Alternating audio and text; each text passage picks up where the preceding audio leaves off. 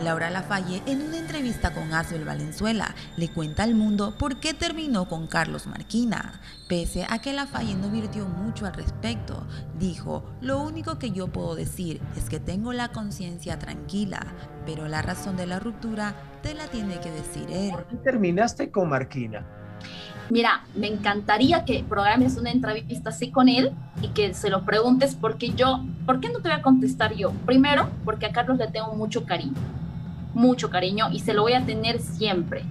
lo único que te puedo decir ah, Es, es, que yo tengo la conciencia tranquila. yo no tuve nada que ver, pero sí puse yo el punto final a la relación. ¿Estás diciendo que el que falló fue él? Yo simplemente te estoy diciendo que yo tengo la, la conciencia tranquila. Él falló.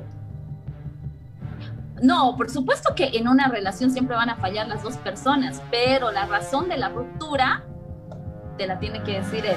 La Falle menciona también que su historia fue muy bonita cuando ella tenía 15 años, una relación sana. Fue su primer enamorado, pero los lazos no se terminan nunca, dijo la comunicadora. Bueno, ahí está. En todo caso, no quiso dar mayores detalles Laura. Por supuesto, se entiende. A ver, medio incómodo también la posición, incómoda la posición de Laura ya Oye. tanto tiempo, además. Oye, Asbel, ¿qué clase de amigo eres? ¿Cómo puede?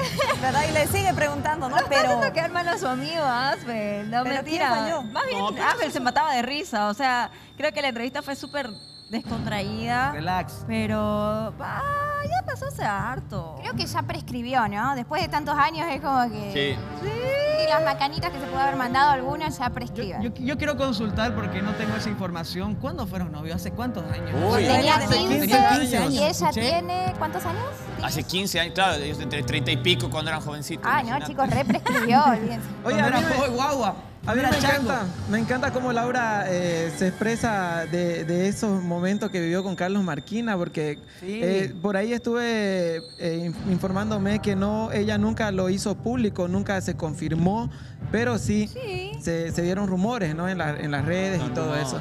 Pero, había redes. Qué bueno, ¿no? Que, ella hable bien.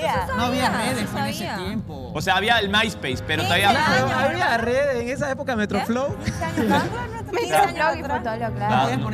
A ver, estamos revisando el perfil de Marquina de High Five. Vamos a ver si ahí tiene una foto con ella. No, chicos, hay que cerrar esas cosas. Hay que cerrarlas. Esas cosas viejas.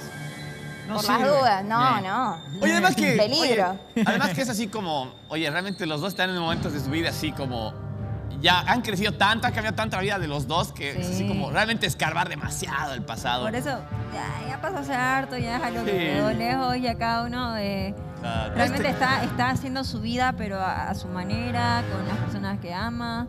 Y nada, ya para qué ya, para qué saber. ¿Para qué ya la cosa, no? Bueno, ahí está, un abrazo a la Falla, un abrazo igual a Valenzuela y está desde Cochabamba y La Paz, ¿no? Bueno.